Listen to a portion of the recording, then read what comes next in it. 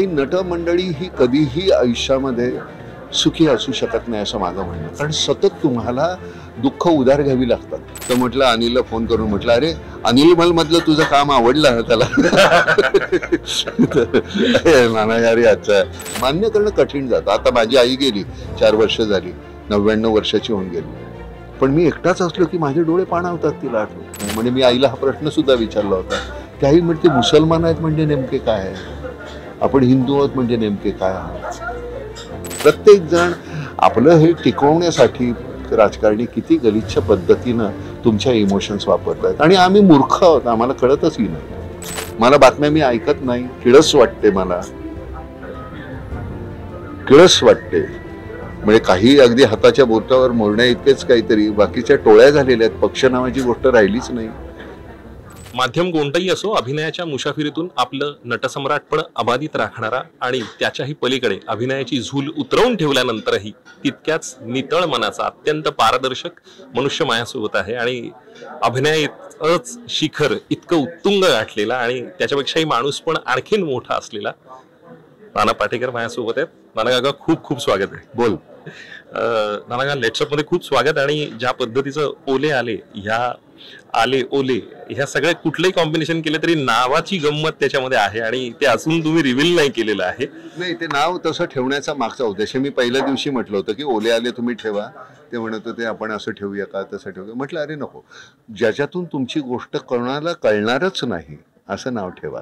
नाहीतर मग ह्याला जीवन आहे सेना वगैरे हे असले ते हे ओले आले हे आजच्या. ह्याला ते बरोबर आणि ज्या पद्धतीचा तुम्ही जॉनर प्रोजेक्ट करताय खरं तर तो जॉनर आहे की नाही आहे हे सुद्धा तुम्हाला सिनेमा पाहिल्यानंतर कळणार आहे नाना काका या सगळ्यामध्ये म्हणजे ज्या पद्धतीचं तुझं आणि मल्हारचं नातं आहे किंवा वेगळ्या पद्धतीने तू कायम अधोरेखित करत आलायस क- सिनेमाच्याही पलीकडे इतका गोड माणूस इतका गोड मुलगा मल्हार आणि आता सिद्धार्थ आणि तुझी केमिस्ट्री ही त्या जवळपास जाणारी तसंच असतं रे कारण काय सध्या शेवटी मल्हार काय सिद्धार्थ काय सायली काय ही सगळी मुलंच आहेत की रे.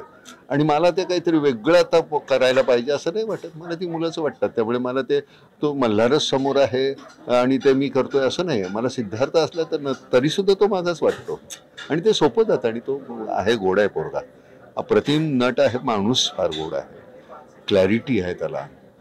आणि ज्या पद्धतीनं इमोट करू शकतो तो. आणि त्याची कसं असतं जसे जसे तुम्ही अनुभव समृद्ध होत जाता तस तसं तुमची इमोट करण्याची पद्धत बदलते. म्हणजे भूमिके बरहुकुम. तू ह्या भूमिकेमध्ये तू असा ह्या भूमिकेमध्ये तसा त्या भूमिकेत तर त्याच्यासाठी तुम्हाला वेगवेगळी दुःख त्याला सामोरं जायला पाहिजे. आणि ती दुःख म्हणजे तुमच्या आयुष्यात यायला पाहिजे असं नाही. त्याच्यासाठी दुसऱ्यांच्या आयुष्यामध्ये ज्यांच्याकडे आले ती माणसं तुम्हाला पाहता यायला पाहिजे. नामच्या माध्यमामुळे आम्हाला काय कुठे कुठे जाता येतं कुठल्या कुठली गोष्टी ऐकायला मिळतात ती माणसं भेटतात त्यांच्या गोष्टी. त्यातून आम्हाला खूप प्रगल्भ होता येतं रे आम्हाला सोपं जातं. पण तुम्ही चार भिंतीमध्ये राहूनच जर का नुसते सिनेमे परदेशी पाहून किंवा काही जर म्हणत असाल की आम्ही असं करू तर तसं नाही होत. उधारीचा अनुभव जो आहे तो आणि तुमचा स्वतःचा जो आहे याच्यामध्ये फरक पडतो ना? तर त्यामुळे काम करत असताना त्यालाही आता तो कदाचित फिरत असेल. मी त्यांना नेहमी म्हणतो तुम्ही जा फिरा बघा. जोपर्यंत न- आणि नटमंडळी ही कधीही आयुष्यामध्ये सुखी असू शकत नाही असं माझं म्हणणं. कारण सतत तुम्हाला दुःख उधार घ्यावी लागतात. तुमची असतात ती वेगळीच. आणि ती उधार घेतलेली दुःख तुम्हाला वागवावी लागतात. ती नीट वागवली तरच तुम्ही मग तिथनं टाळ्या वाजवता वा वा वा काय छान काम केलंय. कधी काय होतं की आम्हाला एक ट्रिगरिंग पॉईंट लागतो. माझ्या आयुष्यात घडलेली अतिशय काहीतरी वाईट गोष्ट असेल तिची आठवण करून मी ते तो एक ट्रिगरिंग पॉईंट म्हणून मी त्या इमोशन परत जाग्या करण्यासाठी वापरतो. मग त्यावेळी मला तो माझ्या आयुष्यातला क्षण इतका विसरायचा प्रयत्न करत असतो तोच आठवून रडावा लागतो. का आणि तुम्ही पाहताना तुम्हाला आणि पटकन त्यांनी टचकन डोळे भरतात रे. आणि तुम्हाला वाटतं वा काय ऍक्टिंग ऍक्टिंग नसते. आम्ही आमच्या सगळ्या त्या भावना विकत असतो. आणि हे असंच असतं त्याला. त्यामुळे नटमंडळी ही सुखी नाही असू शकत सतत.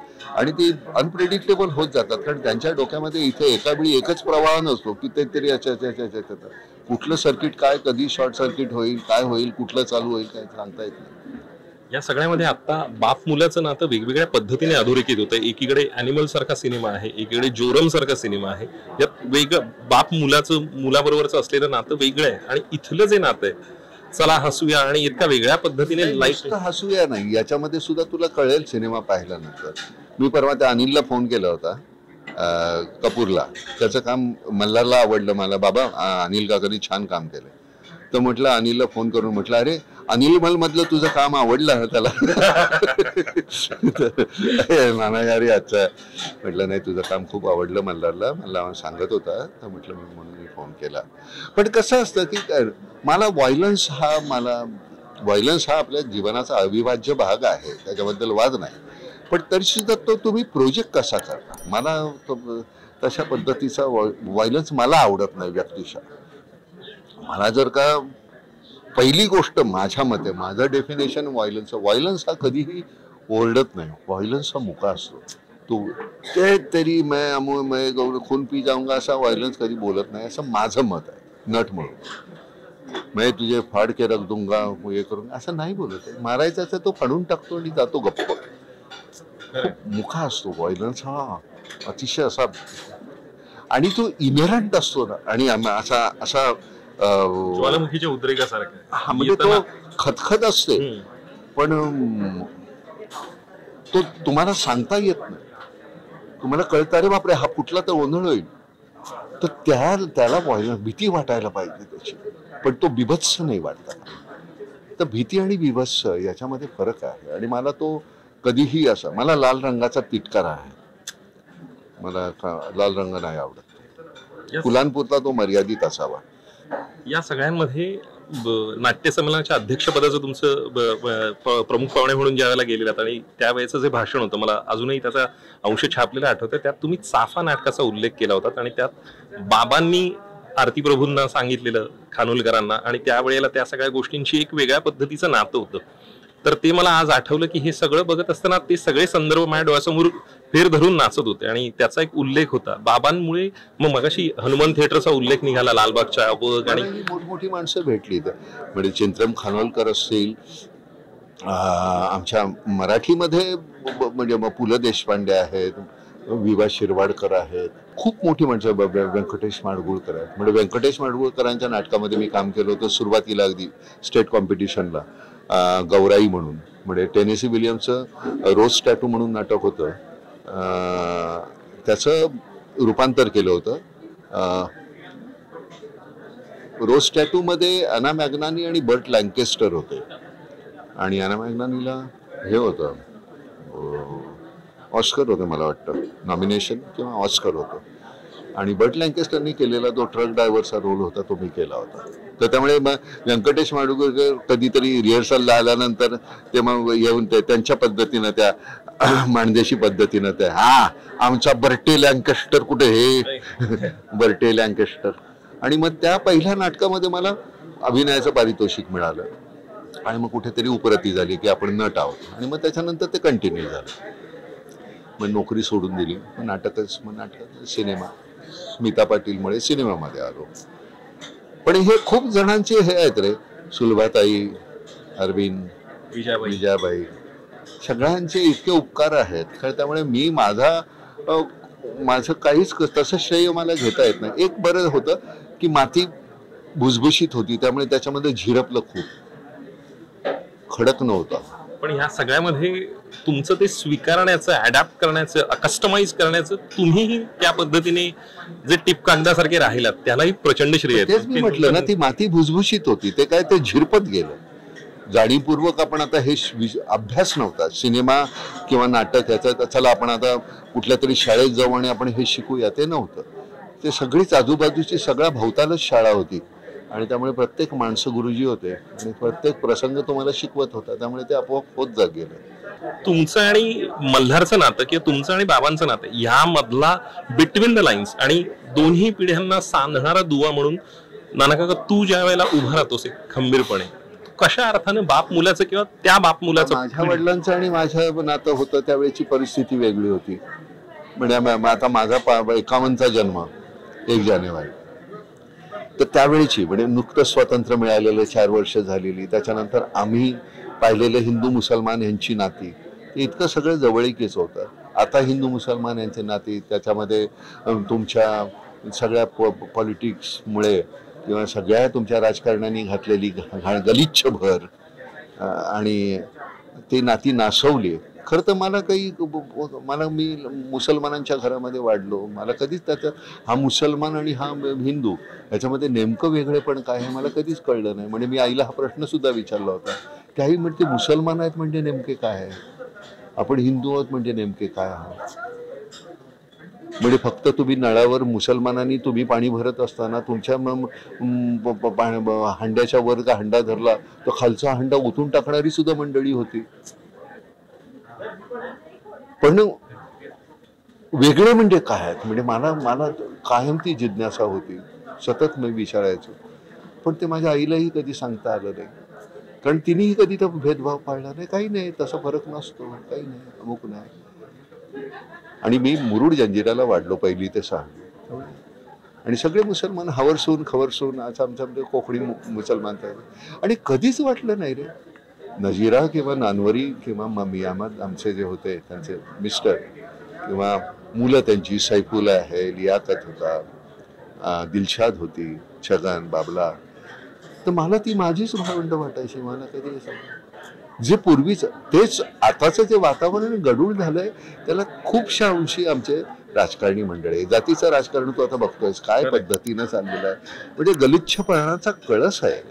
कळस आहे. प्रत्येक जण आपलं हे टिकवण्यासाठी राजकारणी किती गलिच्छ पद्धतीनं तुमच्या इमोशन्स वापरतात. आणि आम्ही मूर्ख आहोत आम्हाला कळतचही नाही.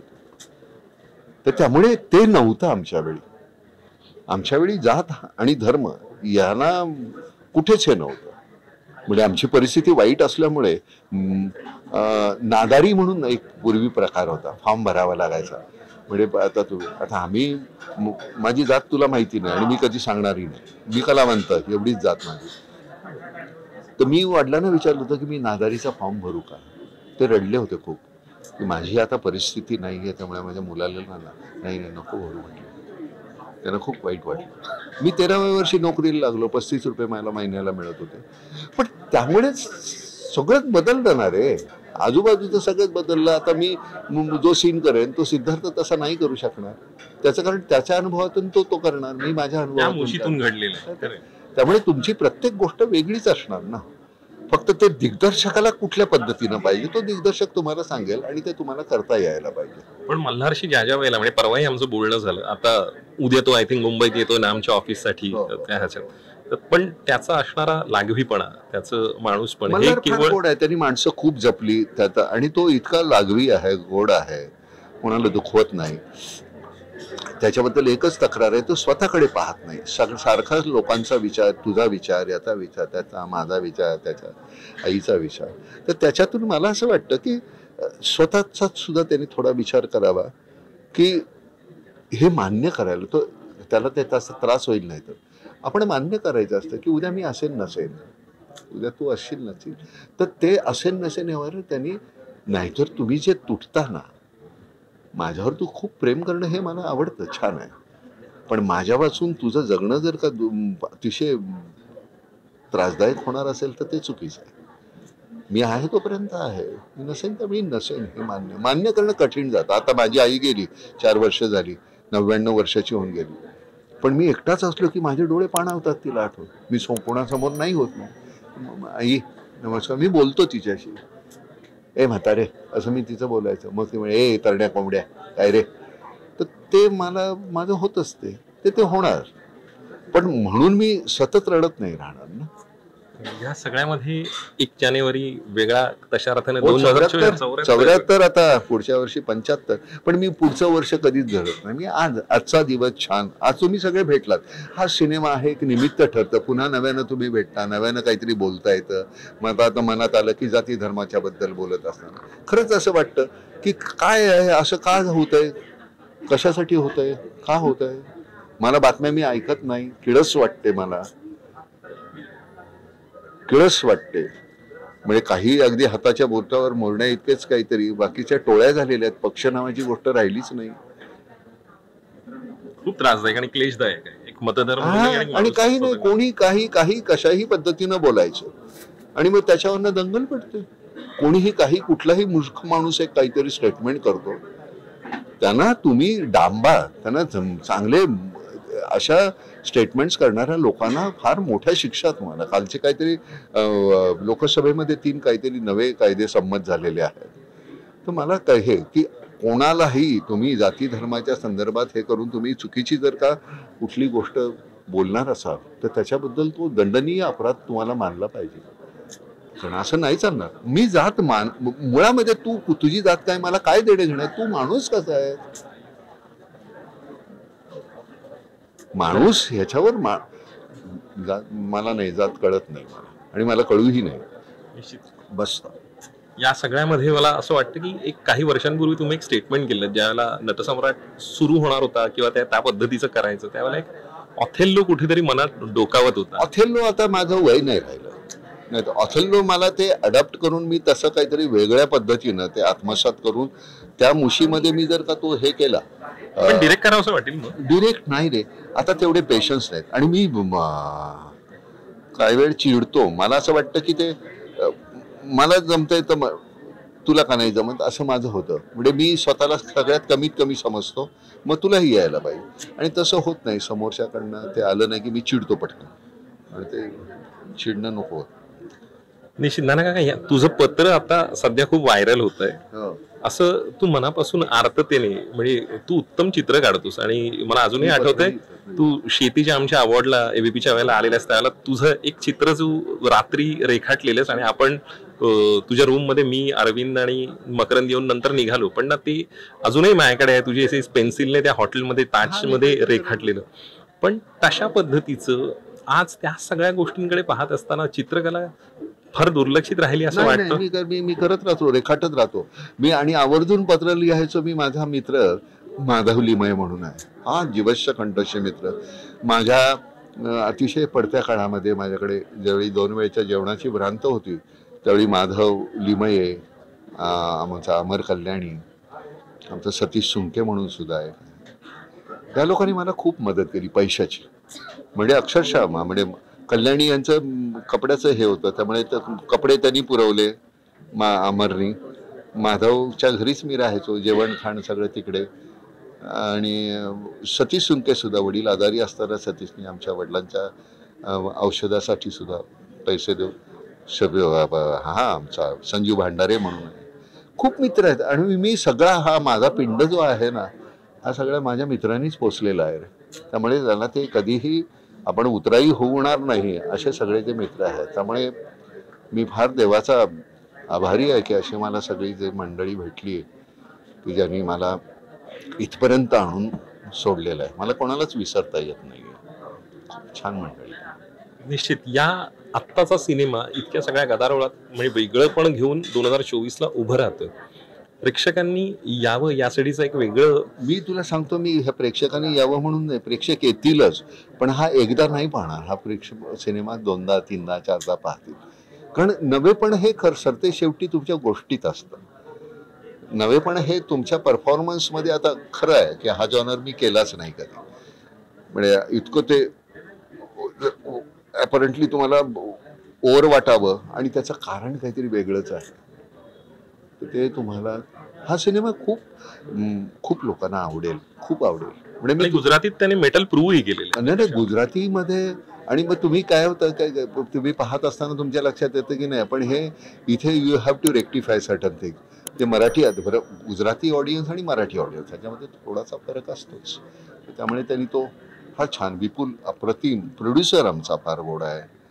मजिठिया हा, रश्विन आणि आमचा रितेश ज्यांनी हे सगळी मोळी बांधली जो तिथला लाईन प्रोड्युसर काय? पण या वयात बावीस बावीस तास शूटिंग तू करतोस किंवा पर्वत चढून तू येतोस आणि मग शॉट देतोस. काय काय वेळ काय होतं की ते सगळं रसायनच इतकं गोड असतं की त्यावेळी तुम्हाला मग तो थकवा जाणवत नाही.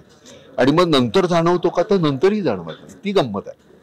निश्चित नात्यांमधला ओलावा कुठेतरी हरवतो आणि त्याच्यावर वेगळ्या अर्थानं भाष्य करणार किंवा मगाशी तू जे म्हणालास की ओलावा हरवतोय असं भाग नाही. सगळ्या जणांना संचयाची वृत्ती झालेली आहे ना. मला उद्याची शाश्वती वाटत नाही आहे त्यामुळे आज संचय करून ठेवूया. उद्या नसेल तर. आणि त्या संचयाच्या मध्ये मी मला स्वतःला विकत चाललेलो आहे. आणि माझं जगणं हरवत चाललं मग मला तुझा विचार करायला येत नाही. मला मी माझी मुलं माझी बायको एवढ्या पुरतच जर असेल तर मग तो गोंधळ होतो. माणसं वाईट नाही आहेत पण जगण्याची पद्धत बदलली आहे त्यांनी. मला असं वाटतं पुन्हा एकदा स्वतःकडे पाहावं. ते आरसे त्यांनी फोडून टाकले आहेत का असं वाटतं की आपल्याकडे स्वतःकडे पाहण्यासाठी. केस आहेत की नाही भांग पडतोय का नाही की कसा दिसतो याच्यापेक्षा आतमध्ये डोकावण्याचे जे आरसे आहेत ते पूर्वी मित्र होते. आपली बाजूची शेजारी होते. ते तुमच्या चुकीच्या गोष्टी सुद्धा सांगायचे. तुमचं कौतुकी करायची. तशी माणसं कारण शेजारच राहिला नाही ना रे.